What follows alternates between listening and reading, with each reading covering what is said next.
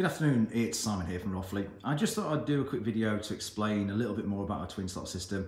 We get asked a lot of questions around what strength the brackets will hold, uh, what does our antimicrobial coating mean, um, why is there a price difference between a plated finish versus a powder coated finish, etc. So I thought I'd do a quick video just to give you a little bit of understanding of twin slot uh, and hopefully this may help you uh, when you're deciding to either purchase it or, or supply it uh, in the future via Rothley.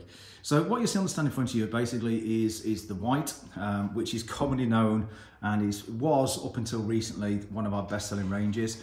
A lot of white on the market um, is used generally within storage. It can also be used um, to put paintings on, etc. in the garage. It was a very, very functional product.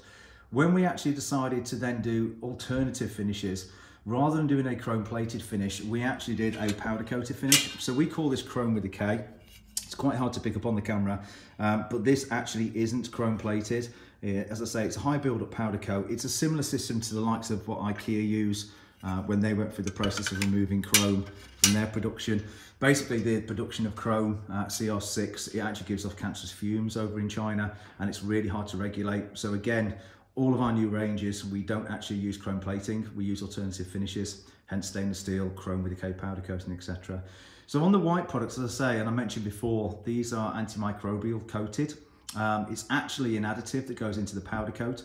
So again, if you're seeing products that are claiming to be antimicrobial, antibacterial, antiviral, etc., it's quite hard to do on a plated product. It's a lot easier to do on a powder coated product. So again, the antimicrobial only covers our white range because generally that is what's accepted within the NHS, within clean rooms, within surgeries, etc. We don't actually add that additive to the other ranges because we don't need to. They're generally used, as I say, in the past for storage, now more in a decorative situation in your house, etc. So when you actually look at some of the new finishes that we do, again, the other question we get asked is, is why aren't they the same price? As a general rule of thumb, your powder coated products, so your white, your silver and your matte black, are generally the same price purely because of the process of powder coating. If you do have to put an additive in, like antimicrobial, antibacterial, etc., then obviously it does add a little bit of a difference to the white one.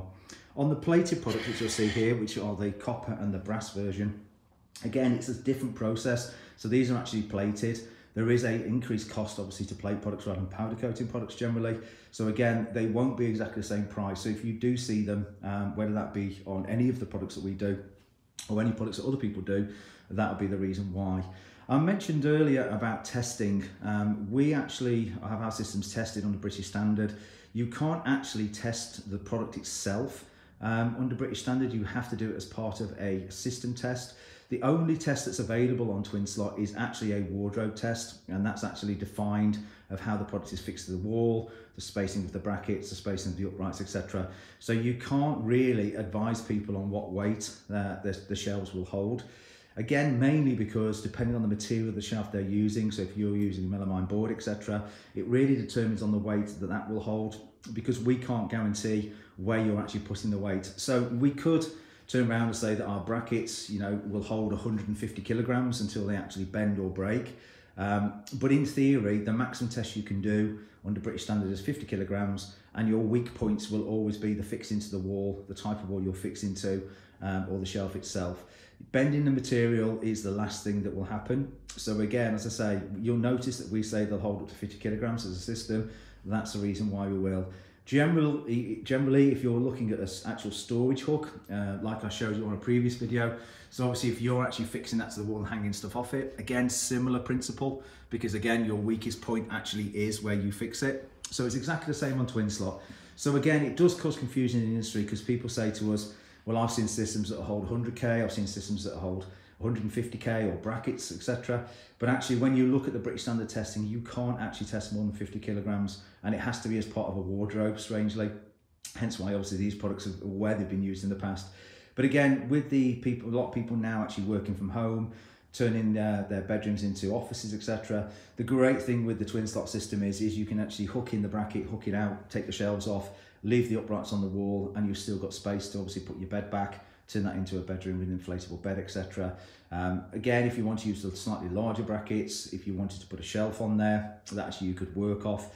Again, it's another ideal uh, situation, and you're not just reliant on having silver or white. So if your room or your dining room has got lots of accents where there's copper or brass being used, again, our new finishes, which are unique to us, um, come into play.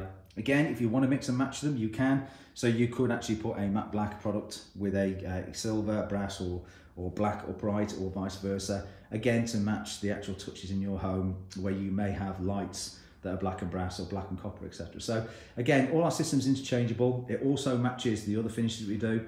So again, if it is next to a grab rail or a handrail or one of our new Baroque table legs or one of our kitchen support legs, etc., then they will match in finish as well. So again, we're not trying to stop people buying our ranges, but you will find if you go to different manufacturers who say that their products are matte black, you wouldn't believe how many variants of matte black there are on the market. So I hope that helps. And as I say, if you want any more information or have any further questions, please let me know and I'll see you soon.